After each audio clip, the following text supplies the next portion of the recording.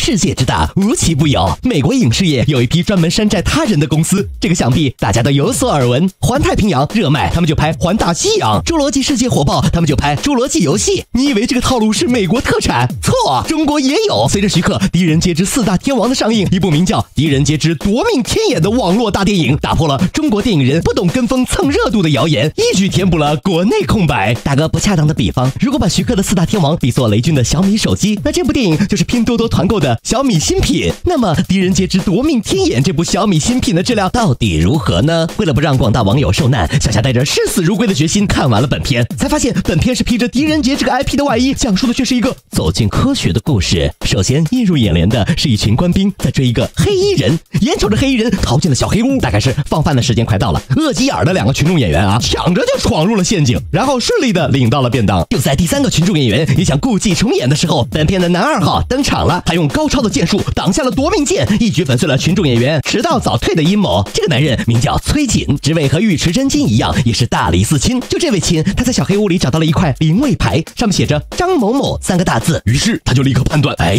这位名叫张某某的官员一定会出事。你猜怎么样？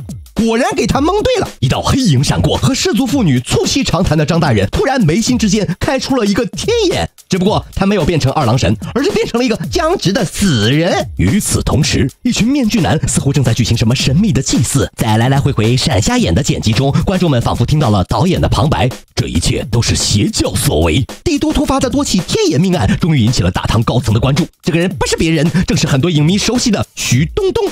对，这个女人不简单，她曾经是余罪里超越老妇的幕后 boss，她曾经是追龙中功夫了得的玫瑰，她也是无数烂片中最值回票价的花瓶，更是在西红柿首富中扑倒了沈腾，用麻花辫儿渴望得到首富的垂青。而这一次，她是武则天，所有男人都要跪舔她的石榴裙。成为武则天的徐冬冬，引人注目的不再是她，嗯，那两个引人注意的东东，嗯，而是她的发型。徐冬冬头顶硕大的方向盘，看似搞笑，实则隐藏着深意。唯有牢牢把把握方向，才能掌控国家的前途。命案接连不断，武则天怀念起狄仁杰在身边的日子。那么此刻，狄仁杰又在哪里呢？和刘德华扮演的狄仁杰一样，陈建锋扮演的狄仁杰，这个时候，嗯，也在牢里。要说陈建锋这些年可比狄仁杰还要惨。这位在 TVB 被誉为四大小生之一的香港男明星，当年一部律政新人王迅速走红，随后古装大戏《美人心计》里更是成为男一号，红遍大江南北。话说如今再见陈建锋，居然是在网络大电影的牢房里，不禁让人唏嘘不已。就在小霞深深的感慨之中，崔锦转达了武则天要求限期破案的圣旨，被取保候审的狄仁杰从牢房转移到了一座通天塔里。那么有人要问了，徐克的通天帝国里有通天浮屠，那这部夺命天眼里有通天塔，两者有什么关系嘞？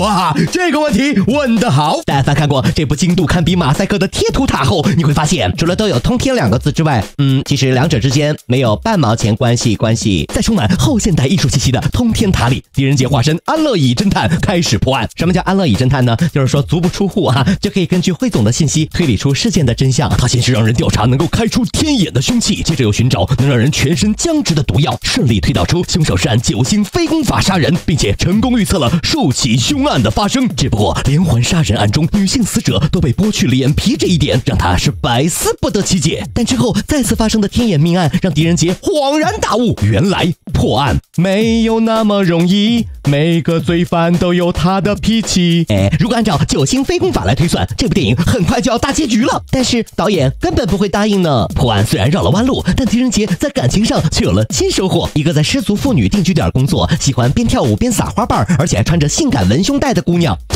这个头戴着一个晾衣架到处晃的姑娘，名叫云珠，既是狄仁杰恩师的女儿，也是本案最大的嫌疑人。因为当年狄仁杰反对武则天称帝，全家受株连，被满门抄斩，唯有她因为颜值在线，被充作功绩啊。而死掉的那些人都是武则天身边的宠臣，但凡女皇说一句话，这些人都要评论、点赞、加转发，一条龙的拍马屁啊！这么说吧，就是不折不扣的武则天的死忠粉。可就在云珠被投入大牢之后，一个神秘的面具男出现了。这个名叫无名的男人，其实就是云珠家的一条忠犬。当年云珠全家被团灭，云珠冲入火海被烧伤，这个男人剥脸皮不是心理变态，而是为了给妹妹植皮整形。后来高丽遣唐使将此项技术带回国内，千百年后就有了繁荣昌盛的韩国整。整容业，思密达。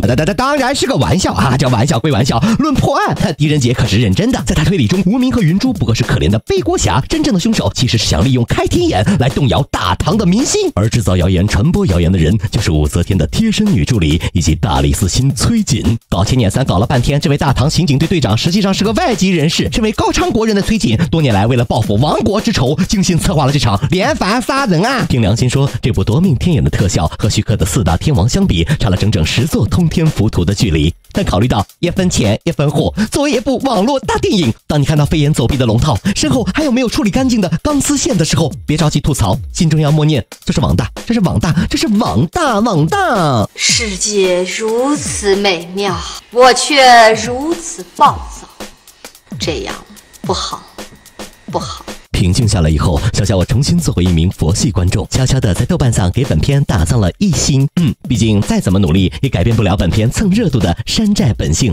如果大家对这种电影都抱有一颗宽容的心，我相信不久的将来我们会陆续看到诸如《我不是要贩子》《鸭不写正》以及《火力城首富》《碟仙碟六》等垃圾。